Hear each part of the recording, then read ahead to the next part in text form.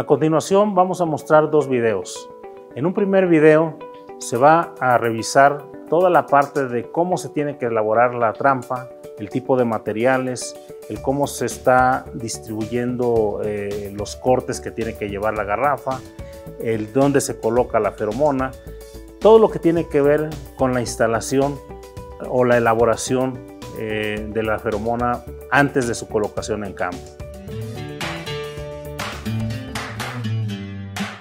Soy Rodolfo Vilchis y hoy vamos a explicar cómo construir una trampa con feromonas sexuales específicas para atrapar palomillas de gusano cogollero. Vamos a instalar la trampa en un área de extensión denominada La Montaña que se ubica en el ejido Julián Grajales, Chiapa de Corzo. Para construir nuestra trampa vamos a requerir de una garrafa entre más grande sea para poder tener mayor volumen de agua. Requerimos de una navaja para hacer los cortes. También requerimos de nuestra feromona. En este caso vamos a usar una feromona líquida. También hay otra que viene impregnada en un septo plástico.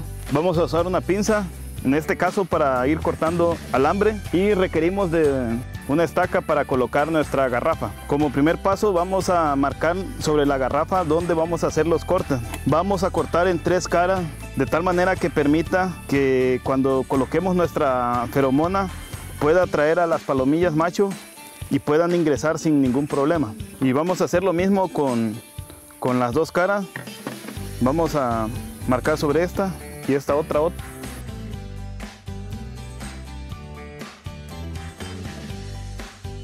Bueno, como vemos ya está marcado. Vamos a proceder con realizar el corte. Ahí nada más les recomendamos que tengan mucho cuidado, no vayan a, a cortarse. Entonces tratemos de hacerlo con el mayor cuidado posible para evitar accidentes.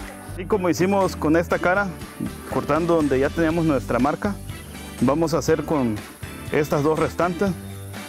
Bueno, ya tenemos nuestra garrafa con las tres caras abiertas. Es importante que cuando nosotros ya vayamos a, a colocarla, no tenga residuos de plástico dentro para que no contamine el agua que vamos a utilizar. Hay varias formas de, de poder colocar la, la, feromona al interior de la garrafa.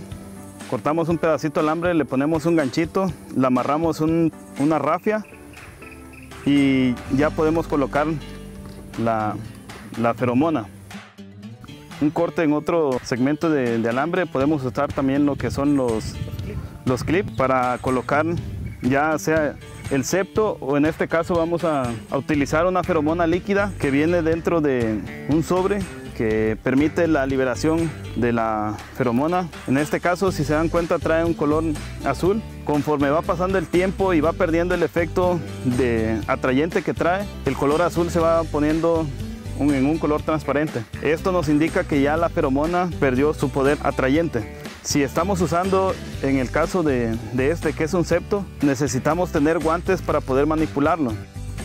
Porque si nosotros lo, tocamos directamente estamos contaminando el producto y por lo tanto puede perder su efecto. Las feromonas debemos de cuidar que los rayos del sol no le lleguen directamente, ya que esto acelera el proceso de degradación y por lo tanto la vida útil es menor.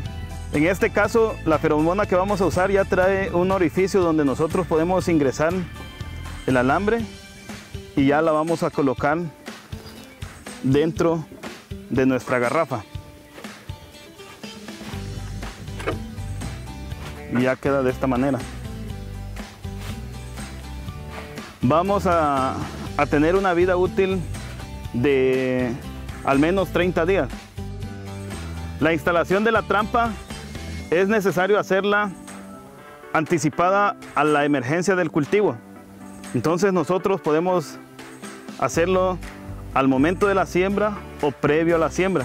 Es importante que tengamos en cuenta que por hectárea nosotros debemos de colocar cuatro trampas. El costo de cada feromona anda alrededor de 50 pesos. La garrafa puede tener un costo relativo de, de 60, 70 pesos y nosotros podemos reutilizar nuevamente este envase para seguir haciendo más control alrededor de 3 a 4 ciclos. Recuerda entonces, como ya lo pudiste ver en estos dos videos, tenemos puntos claves, puntos muy importantes, como es la distribución de las cuatro feromonas por hectárea, en qué distancias, a qué altura, el dato de cada cuándo tenemos que estar revisando las trampas, el aspecto de en qué momento tenemos que estar haciendo el cambio de la, el cambio de la feromona, la altura que tiene que tener la feromona con respecto al suelo, la colocación de la trampa dentro de la, dentro de la parcela, no, no tanto como su distribución, sino la colocación física en una estaca. Tenemos que estar cuidando mucho el detalle del manejo de la feromona.